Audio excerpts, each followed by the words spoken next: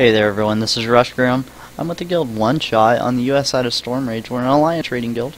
And what I'm going to do is I'm going to give you a quick, quick walkthrough of a few of the things that you can do on weak auras. Um, the main thing in particular is I'm going to show you how to do an icon with a cooldown timer on.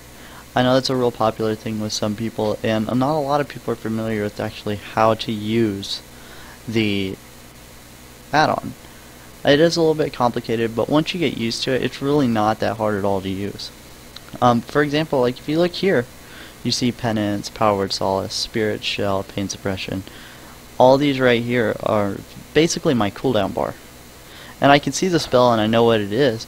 And I also, down here, it'll pop up with um, the cooldown, but that's really too far away to look sometimes, especially whenever you're looking at health bars and stuff being a healer. So I like to have them up here. Now whenever I hit one of these spells like Divine Star, you can see the cooldown start to pop up. And we'll go into weak auras and we'll look at it real fast. So for example, the spell I showed you was Divine Star. So I've made the weak aura for it, I've changed the size and everything, but if you come down here, there's a second one for it as well that shows the timer. Now I'm going to show you how to make that. So first we're going to come into new and we're going to make an icon.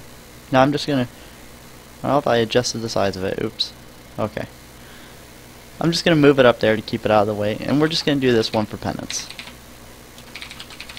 We're going to name this one Penance YouTube just because it's for you guys and then we're going to click the cooldown button here. Now, we're not going to have any text in this just yet, and we're just going to make a separate one for the text to make it look a little bit better. Um, you can have it set to an automatic icon. Sometimes I do, sometimes I don't. Um, but we'll just come here and we'll pick the icon ourselves. Alright, so now you can come down and you can adjust the width and the height however you want it. See, I got it a little bit off than what it started when up square. You adjust it to however you want it. If you looked at mine before, they're a little bit smaller, which that's okay. You can have them bigger or smaller however you want it.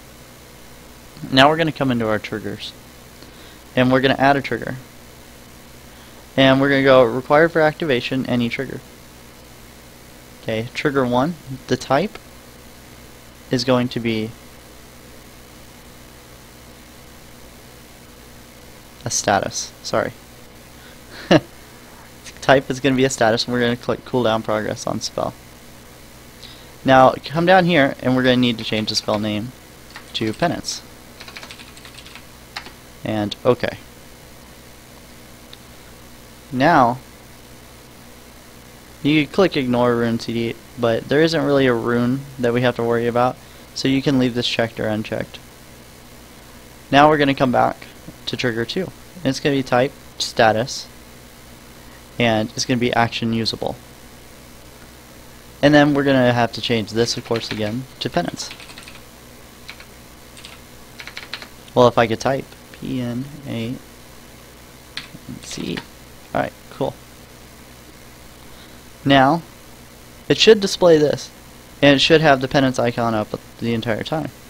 See, there's the penance icon. And after casting penance, you see the cooldown start. But we still don't have these numbers yet. We're going to want to get these numbers up here so that you know exactly how long is left. So then I'm going to come back into weak auras. And we're going to create a new one. And this is going to be a text.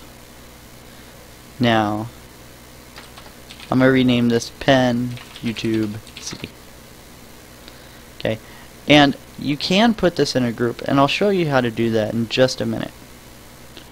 But for now, we're going to come into display, and we're going to pull this out, and now we're going to want to go into percent %p.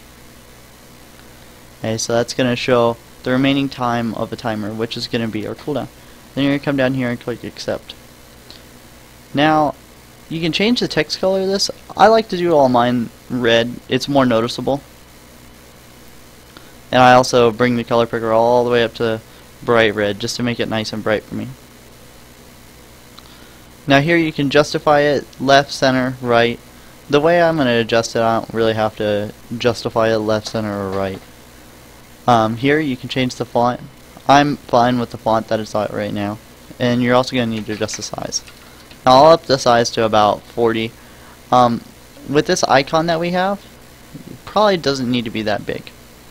But you're also going to want to center this on where the icon is. So going to control click and you're going to move this over the icon. So obviously this is just a little bit too big. So let's bring this down to about 35. Bam. 35 looks just about perfect for this icon and you want to center it on your icon. Awesome. So now we're going to click on the cooldown, the text again, and then we're going to come over to trigger. The trigger is going to be a status and then cooldown progress of a spell and then we're going to have to change this again to penance. Now it's at penance and this should track our CD on our penance now. I just moved it. Oops. Now control click that again and bam there. For some reason I'm getting errors popping up. I'll have to look at that a little bit later and send in some error reports. That's going to annoy me. Alright, now what we're going to do is we're going to set these in a group. So I'm going to click New Group, and it's going to be the YouTube group. So now we have these two spell, these two weak auras, and they're stacked on top of each other, and we want to put them together so that we can move them together. This little arrow, you click this little arrow, and you click on the group, and it'll move it in there. So now we move these into our group. And open up your group, and there you go, it's right there. Now let's X out of weak auras, and then click, and now you have your cooldown timer. Yeah, you can move along and make one for each and every spell just like I have. For example, I made it for all those cooldowns, which it takes a little bit of time, but it's actually really simple to do. The way I do it is I just right click like penance and I duplicate it. And then we'll make this one for Power Word Solace. So now the only thing you have to do is change the spell. Now, for you priest people out there that actually use Power Word Solace instead of Mindbender, you're going to want to type Holy Fire. And it'll change it because it'll notice that you have the talent selected. Okay. And bam. Then, what you'll do is you can move it along. And you'll just control click. And you can line up the spells just like that to make that straight line. Or you can go into the group this is really going to annoy me. This keeps popping up all the time. Or you can go into the group and click on the group and then you can start adjusting how much space horizontally, how much distribute horizontally and vertically. Okay. This add-on really isn't that hard to use, but some people think it is pretty complicated. When at first, it actually is pretty complicated until you get the hang of it.